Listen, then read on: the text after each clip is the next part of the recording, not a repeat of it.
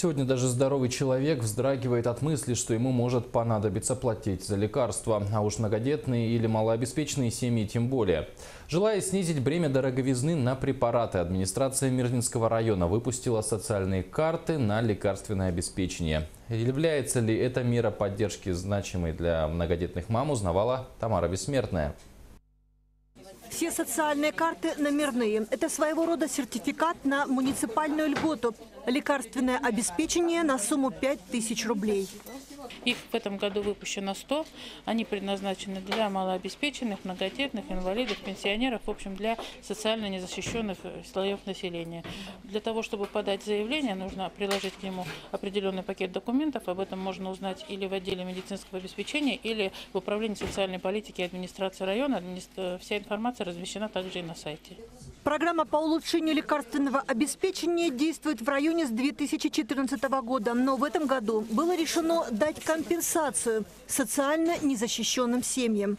Сумму в 5 тысяч необходимо потратить до конца года. Наличными она не выдается. Карта номерные, да, фамилия.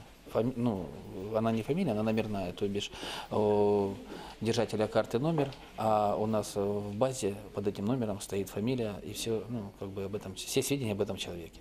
То есть я так понимаю, что 500 тысяч до конца года вот это та сумма, которую взяла на себя районная администрация для того, чтобы облегчить э, бремя таких людей? Да, в какой-то степени помочь людям. Именно на полмиллиона администрация взяла на себя такое бремя. Персонифицированный компьютерный учет исключает покупку лекарств сторонними людьми. Сумма покупки вычитается из общего баланса. Вот, например, по карте 261 такой-то, такой-то клиент, кредит у него 5 тысяч, была совершена покупка на 250 рублей, остаток составляет 4750 рублей.